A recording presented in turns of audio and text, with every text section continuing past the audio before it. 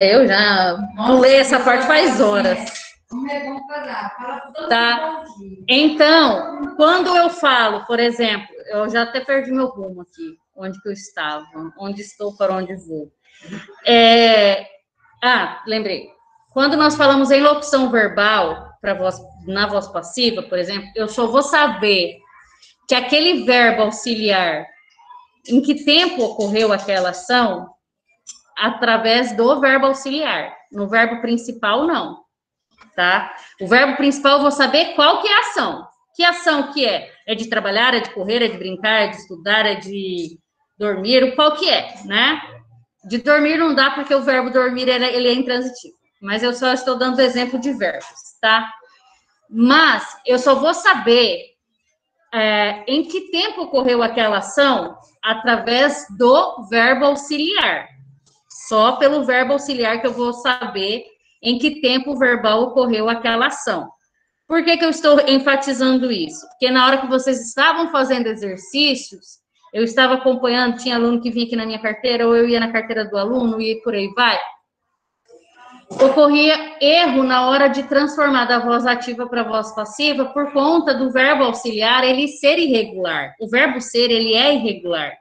Então, por exemplo, o verbo estava lá no pretérito imperfeito. Eu preciso saber qual que é o verbo, é, qual que é o verbo que corresponde ao pretérito imperfeito, o verbo auxiliar, que é o verbo ser. Então, era o quê?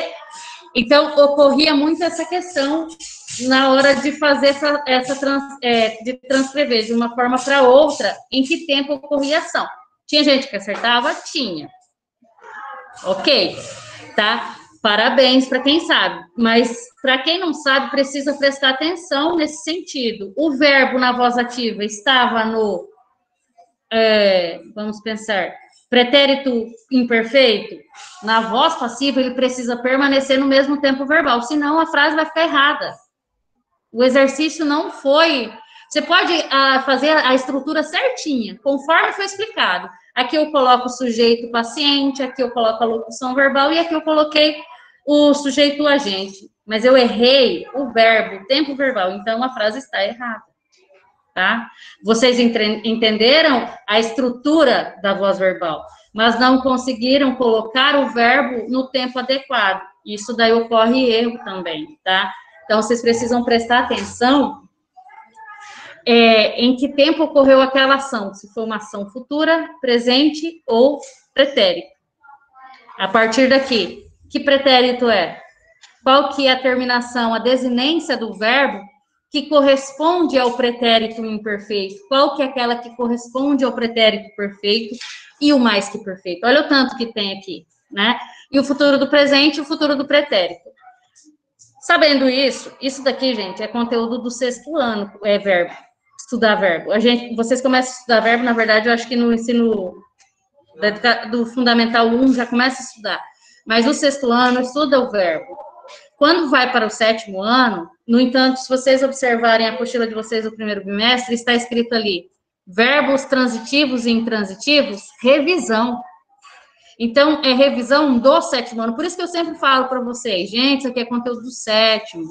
Porque não tem como, só um pouquinho, não tem como eu ficar retomando se eu tenho que cumprir um material. Eu preciso seguir aquele material daquele ano, daquele bimestre, tá? Por isso que eu falo, gente, isso aqui, eu estou falando isso, inclusive aconteceu comigo, tá? E não é, não é errado você não saber.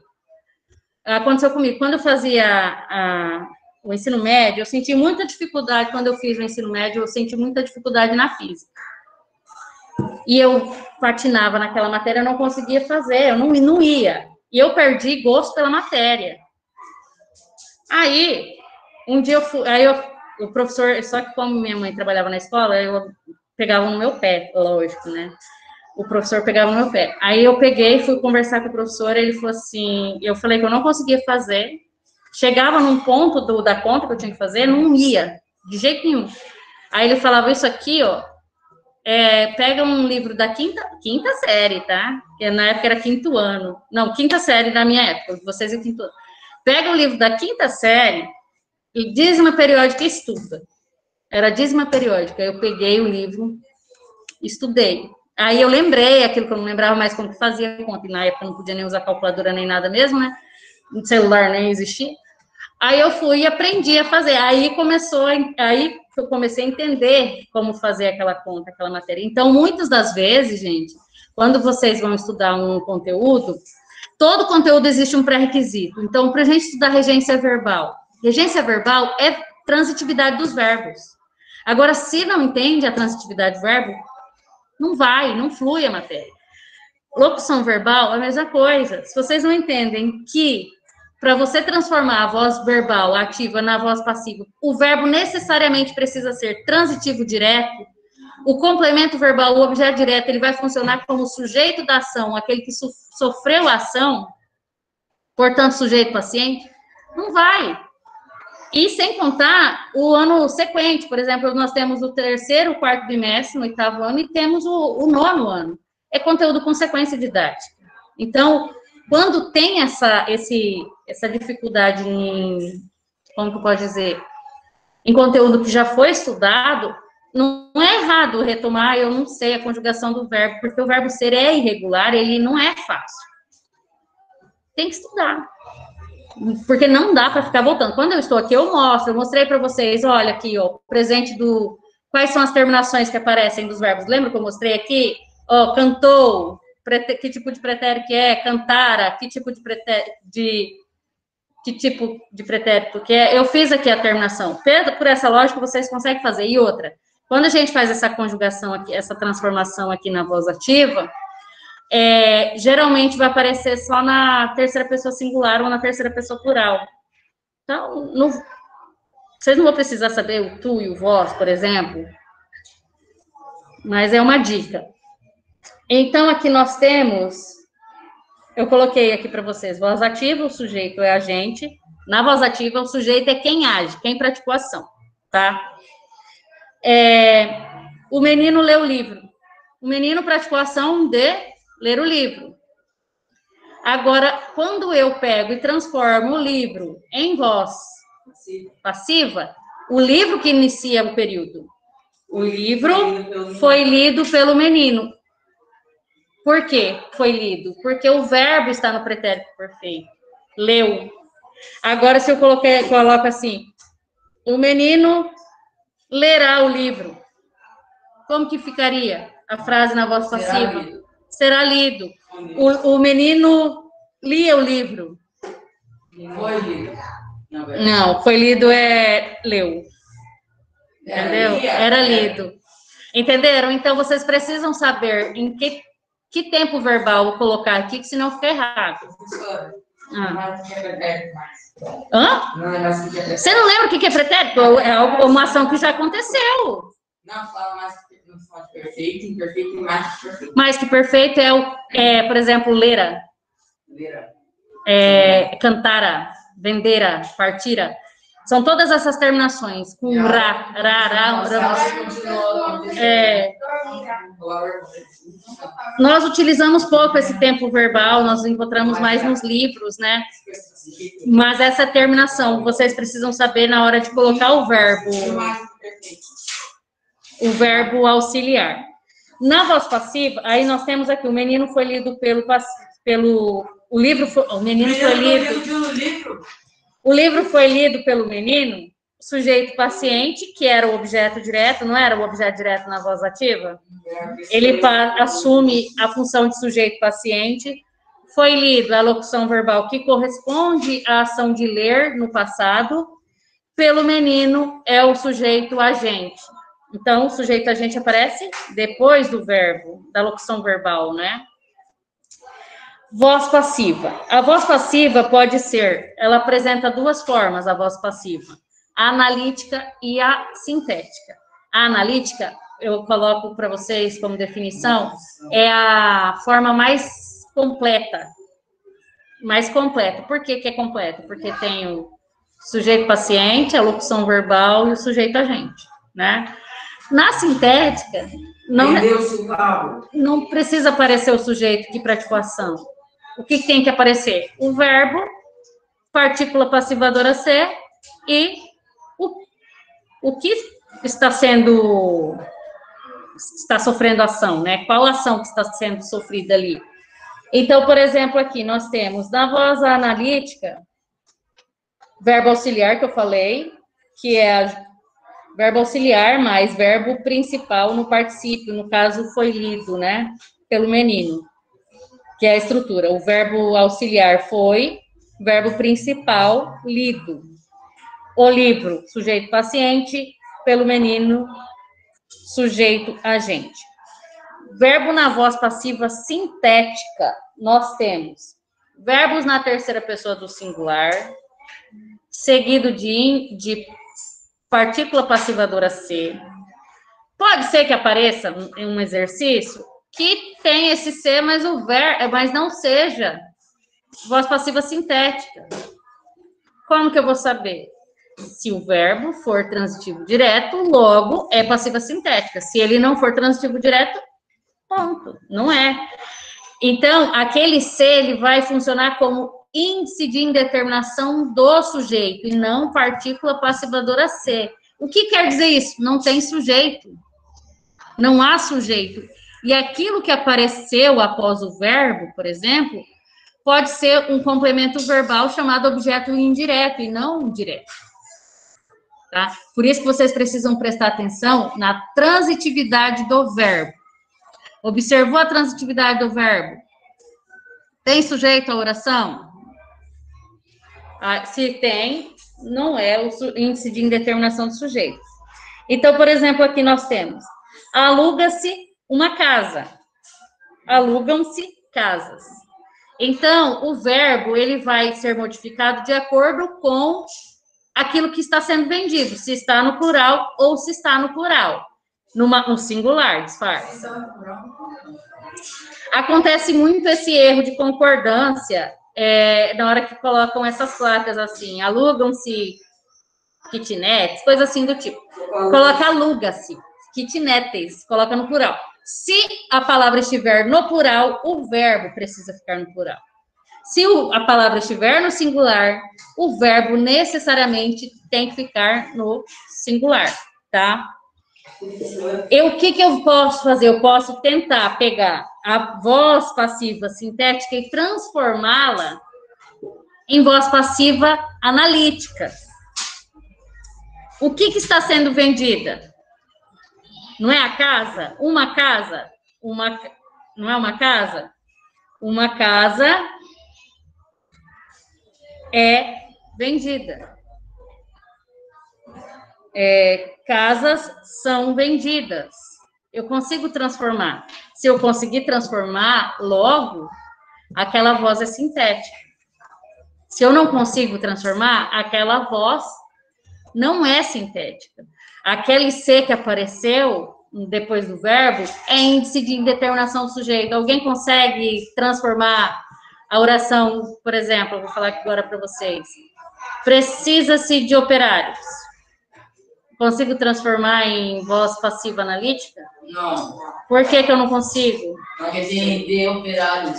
De operários é objeto direto, logo, esse precisar aí, ele não. Não, Não vai. é. Então. De é uma preposição, né? É, Então. é uma preposição. Então, isso daqui não é objeto direto, é objeto indireto. Então, esse D eu já elimino. Oi, pode falar. Não, não, tem que decorar todos os. É aí que eu falo. Por isso que eu falo. Quando tem esse pré-requisito aí, tem coisa que não dá para ficar voltando. Eu falo, mas você- aí vocês têm que correr atrás. É, de, são as básicas, né? De, para, em, contra. Tem um monte, né? Tem o na.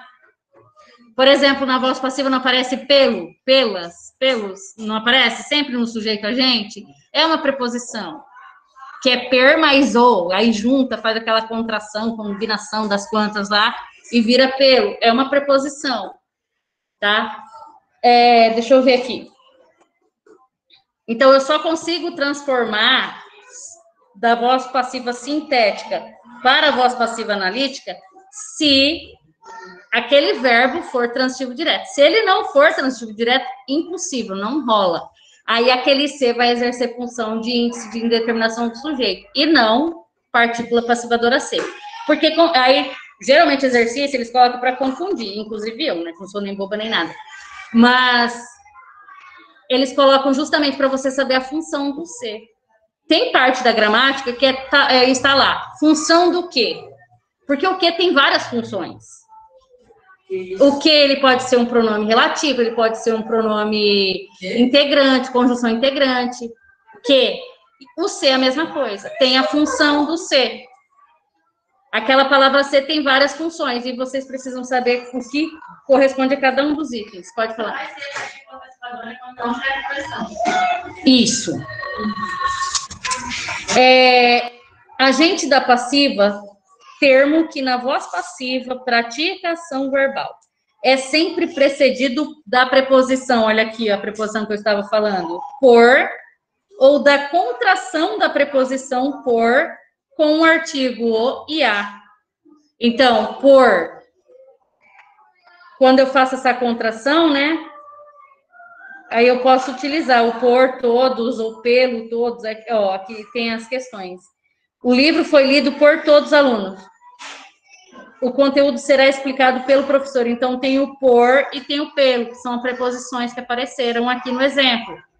Então, quer dizer o quê? Que no sujeito agente, que aparece após a locução verbal, ela vai ser introduzida por uma preposição. Vai aparecer essa preposição.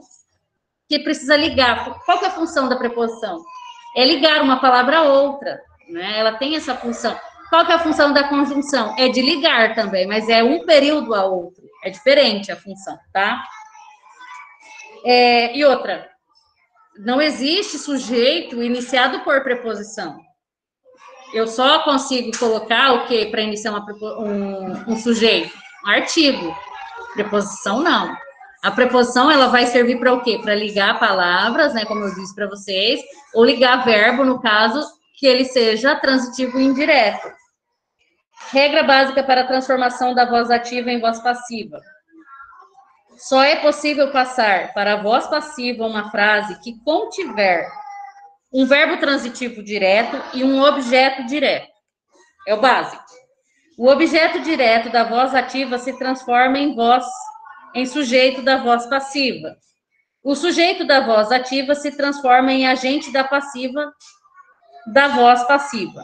Então, vocês podem ver que tem uma seta, né? O rapaz transformou a cidade. O rapaz é o sujeito que praticou ação. Qual ação que ele praticou? De transformar, não é? Quem transforma, transforma o que? Alguma coisa. Então, essa alguma coisa aqui, que é a cidade, funciona como objeto direto. Aí, o que, que eu faço agora? Eu pego a cidade, inicio o período, a cidade, o verbo é transformou. Eu preciso de locução verbal que corresponda ao mesmo tempo verbal, não é? Transformou, a cidade foi transformada por quem? Pelo rapaz que foi o sujeito de praticou ação. Outra coisa. Ah, deixa eu falar aqui. Regra básica para a transformação da voz passiva em voz ativa. Então, da mesma forma que eu transformo da voz ativa para a voz passiva, eu também posso transformar a voz passiva em voz ativa, tá? Então, o sujeito da voz passiva se transforma em objeto direto da voz ativa,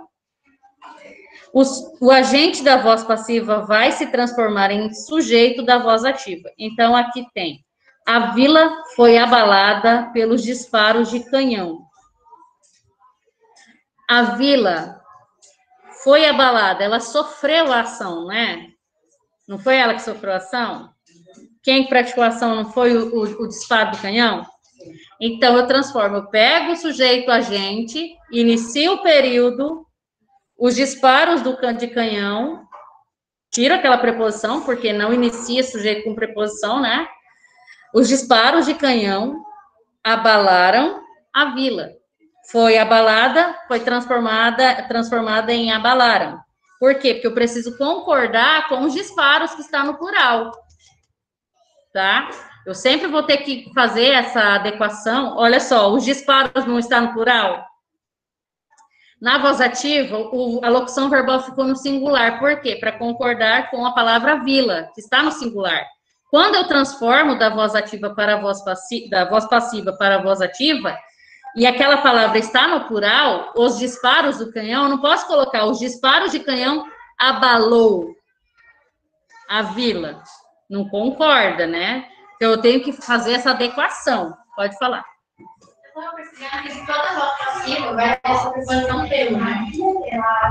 Pelo por. Maioria, todas elas, não tem como eu transformar sempre. O que pode acontecer no caso da sintética é não aparecer o sujeito agente. Aí ele não tem, só vai ter o quê? O verbo, a partícula passivadora ser e a ação sofrida, ação praticada. Isso. Observação. Ao fazer a transformação da voz ativa para a voz passiva, ou vice-versa, é importante manter o tempo e modo verbais. A moça resolvia o problema. O problema era resolvido. Eu não consegui achar essa nota aqui. Essa apostila. Ó, tem a apostila que eu não encontrei lá. Tá tudo corrigido. Aqui eu não achei a nota mesmo, porque ah, essa aqui estava sem o papelzinho da frente. Ah, então ah, Alguém rasgou e me avisou, entendeu? Mas está tudo corrigido. Eu acho que eu não tenho aqui. Deixa eu ver aqui. Eu não achei aqueles controles que você me mandou. Aham. Controle.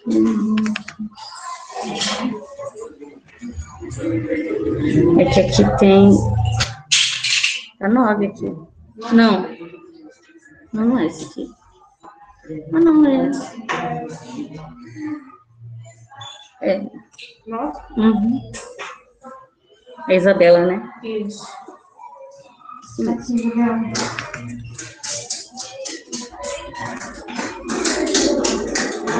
Então, a moça resolvia o problema o problema era resolvido pela moça. pela moça. Então, eu tenho que fazer essa transformação aqui, tá? Então, a criança caiu. Caiu é verbo intransitivo, não tem como passar. caiu a criança. Caiu a criança. Legal. Uh -uh. Gente, só é possível eu transformar uma, de uma voz para outra se o verbo for transitivo direto. Se não for, não tem como, vai ficar daquele jeito mesmo, tá? Aí aqui tem qual que é o certo, qual que é o errado. O problema era resolvido pela moça, o problema foi resolvido pela moça. Era resolvido, porque está falando que ela resolvia. Está no pretérito imperfeito, tá? e foi resolvido é pretérito perfeito, por isso que fica errado. Fique atento. O pronome ser na voz passiva sintética é chamado de partícula passivadora. Compraram-se livros. O que, que foi comprado? Livros. Os livros foram comprados. Então, aqui está, tem a função de partícula passivadora ser. Para se identificar, para identificar-se de fato, a partícula passivadora passa a frase para a voz passiva analítica. Os livros foram comprados. Eu até transformei já falando para vocês, né? Deve haver concordância, também já falei para vocês. Deve haver concordância do verbo com o termo que o sucede, porque este exerce o papel de sujeito do verbo. Então, se são apartamentos, vendem-se apartamentos. Se é apartamento, vende apartamento, vende-se apartamento. Eu tenho que concordar com o sujeito. Ele que é o sujeito da oração, tá? Vendeu-se um apartamento. Está no singular, um apartamento vendeu-se. Venderam-se apartamentos, verbo no, e sujeito no plural, tá? Então, esse daqui é o conteúdo de vocês. É, deixa eu ver.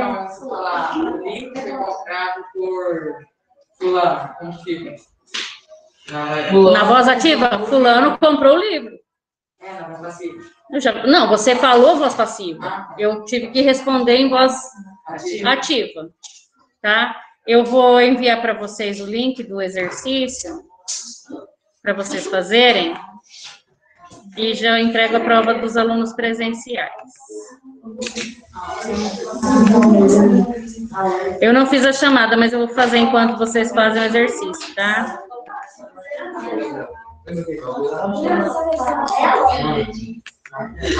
Qualquer dúvida, gente, pergunte, aproveite, tá?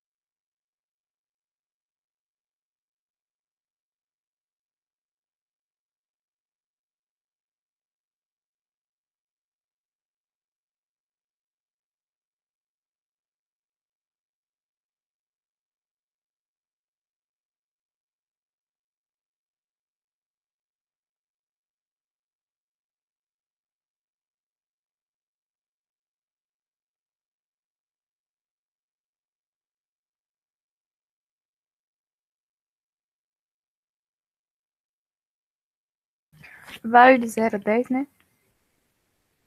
Eu coloquei, como eu fiz é, no Google Formulário, né, e eu atribuí nota, mas nessa nota não é, não será válida, é só para vocês terem uma base do- dos acertos que vocês Ah, tiverem. pode, professora. Ô, Pro, vai ter que copiar? Não, não, não precisa. É, é o formulário, tá? Por isso que eu falei para vocês, se vocês preferirem a folha, tiverem como imprimir, eu posso enviar no grupo.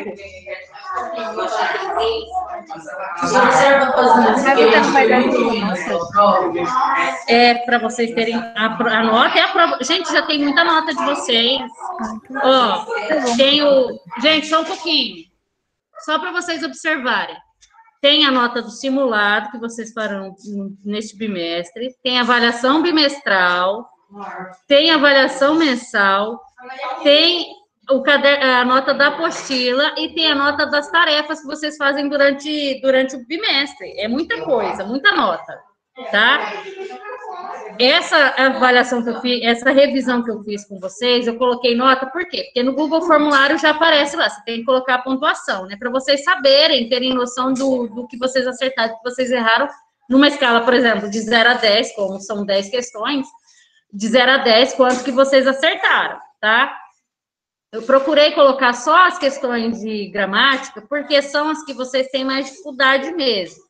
Então, eu coloquei questões que estão dentro daquele conceito, como que se faz para transformar, tem algumas alternativas que estão relacionadas a, a como transformar a voz ativa para voz passiva, se é objeto direto, aquela coisa toda. Então, tem nas questões. Então, prestem atenção nessas definições, que elas servem bastante para vocês na hora de vocês responderem a- os exercícios.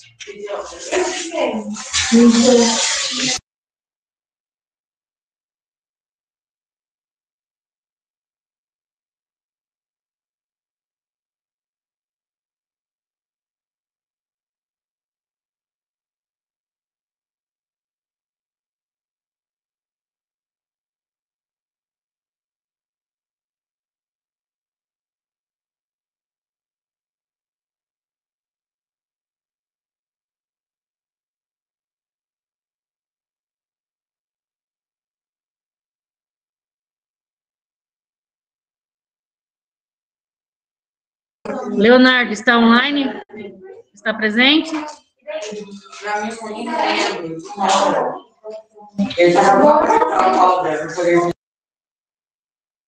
Eu estou fazendo aqui a chamada, tá? Eu, estou, eu só não perguntei já do Leonardo, porque eu já marquei presença para os demais. O Leonardo está presente? Sou professora. Tava arrumando. Tá. Letícia também está presente. O Lucas Kuroki está? Lucas Kuroki está online? Não. Tá, está online. Acabei de achar. É, Luiz Henrique. Ele entrou e saiu. Cadê o Luiz Henrique? Não está online.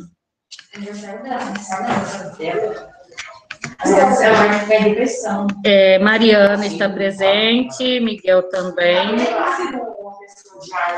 Murilo, Nicole, Pastor, Rafaela. Então, só o Luiz Henrique que não está. Tá. Deixa eu colocar.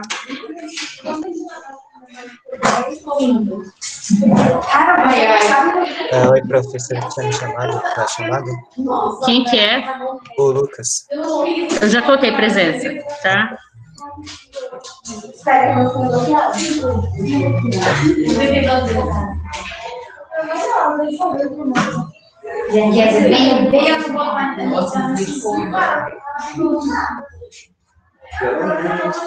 A voz reflexiva, eu acabei, é quando você pratica ação e sofre ao mesmo tempo. Você vai dar um soco no cara. Pô, eu dei um soco nele, eu dei um soco no meu filho. tá? Quando eu pratico a ação e sofro ao mesmo tempo, é voz reflexiva. Você se olhar no espelho é uma, uma voz reflexiva. Você praticou a ação de se olhar e sofreu ação. Aqui.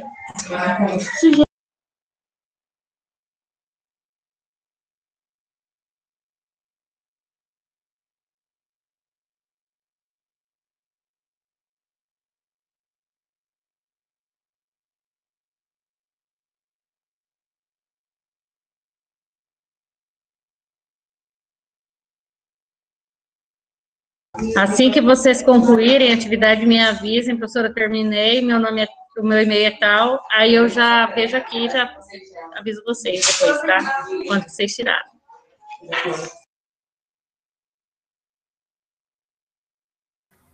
Professora, por que você não deixou pra gente ver a pontuação? Ou você deixou? Eu nem olhei, nem lembro, eu acho que não. Deixa eu olhar aqui. Deve uma pitadinha. A carinha é aqui é. PCC.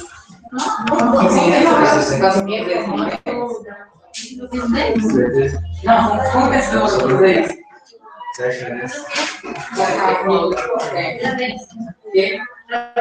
Pronto, eu já alterei aqui, tá? Aí vocês já sabem quanto que tirar.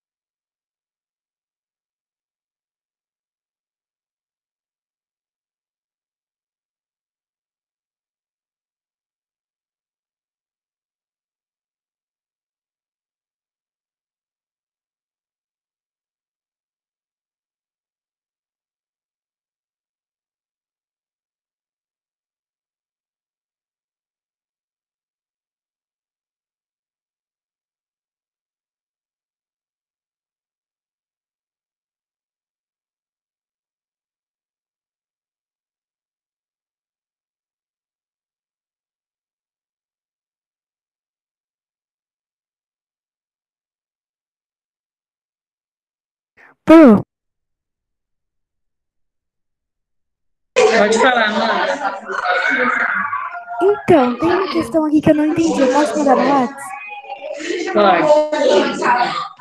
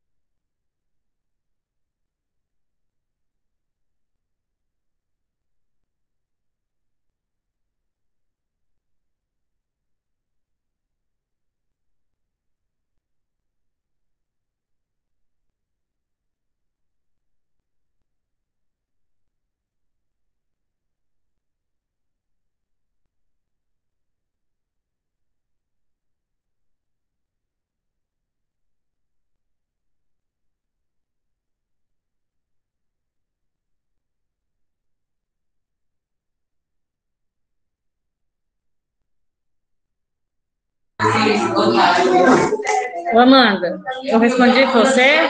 Foi no privado, não foi? Ou vou- não tirei a dúvida ainda? Tem mais? Ah, tá, beleza.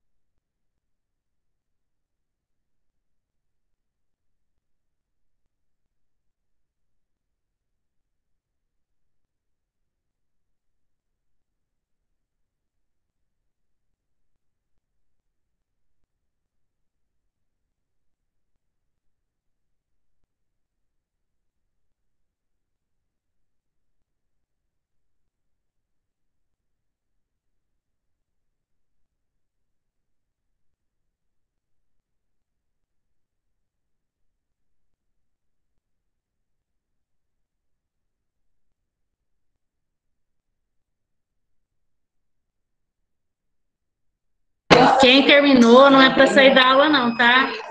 Eu vou. É que ainda tem aluno para entregar. Eu quero corrigir com vocês ainda hoje. Os alunos online, só cinco entregaram até agora, tá? Então, por isso que não é para sair, porque daí no finalzinho da aula eu corrijo com vocês.